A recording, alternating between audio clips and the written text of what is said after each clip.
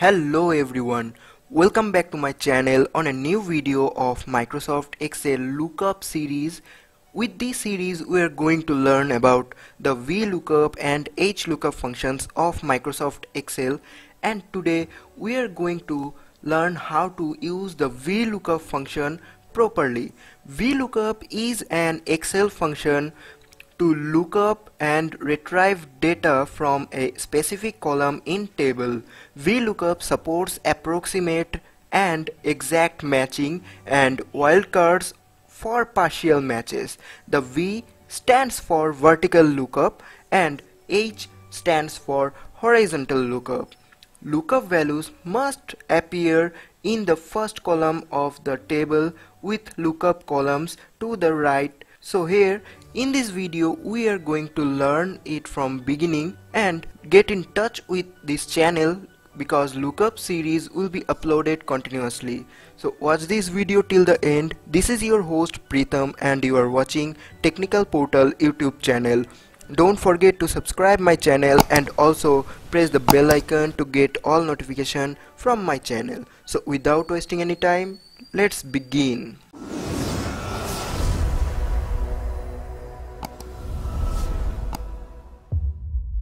Welcome back friends. Here I have already created a data file previously to save time and we are going to use the OSK software that means the on-screen keyboard so that you can notice which of the keys I am pressing in my keyboard. So in this video we are going to use the VLOOKUP function to get employee information in just a single click and we are going to use the drop down menu also to reduce the time. So if you want to retrieve employee information from a table and the data table contains a unique ID just like here to the left of the information you want to retrieve you can easily do that with the VLOOKUP function of Microsoft Excel. So in this data file we are going to find the first name into this cell last name into this cell and email ID in this cell also.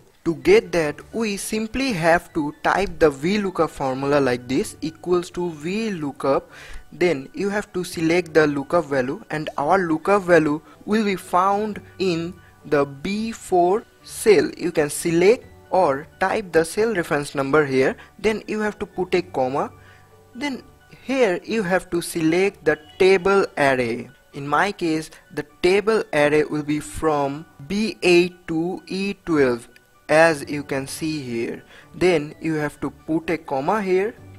Then you have to give the column index number according to this table from B8 to E12 the first name will be in the second column right we have to give the column index number according to this table so we have to put number 2 here then put a comma and we are going for the exact match function here. So we have to type number 0 here close the bracket and simply hit the enter button. Look at here it is showing an error because we did not give any details in this B4 cell which is our lookup value. So if we type any ID from here in this table like I'm typing 1 2 3 it will show as Steve this one right. So in this cell we have to type the formula repeatedly equals to VLOOKUP look at here carefully. We again have to select the lookup value. This one is my lookup value. Put a comma select the table array from this. Then again put a comma. Now in this case the last name is in the third column. Right. Then put a comma again. And we are using the exact match option as range lookup then put the bracket close and hit the enter button. Look at here it is showing as Robert. And again in this cell we have to type it. I'm keeping this video here. So here we have found the exact email of ID number 123 and if we change the ID 456 it will show you the accurate result. So the interesting fact is this.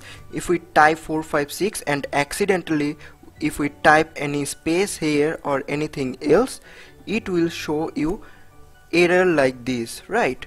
To get rid of this error we will use the drop down menu here. You have to go to the data tab then you have to click on data validation. Then again data validation. Here you have to select the list from this option. Then in the source you have to select this one right? Then simply click on ok. Look at here. It is showing an down arrow here in this cell.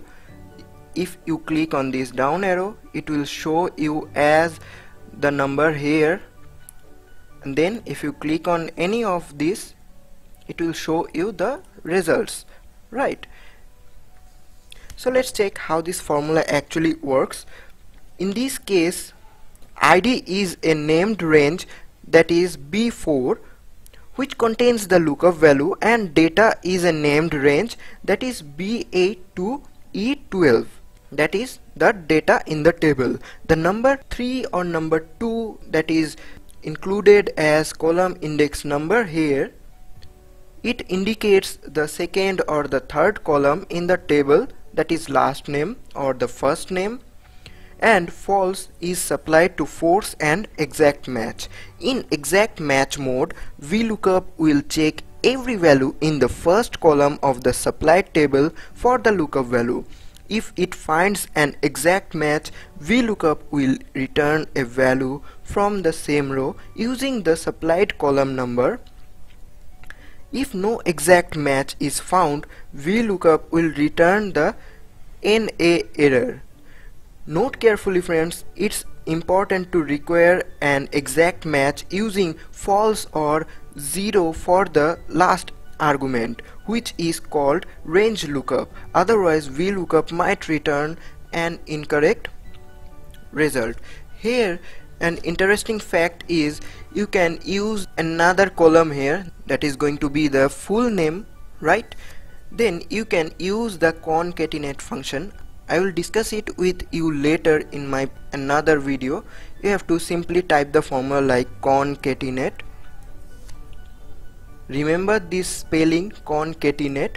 Then you have to select the text 1 here as I'm going to select the text 1 as this one C4 then put a comma then open the double inverted comma put a space then again close the double inverted comma put a comma then select the text 3 then close the bracket and hit the enter button. Look at here.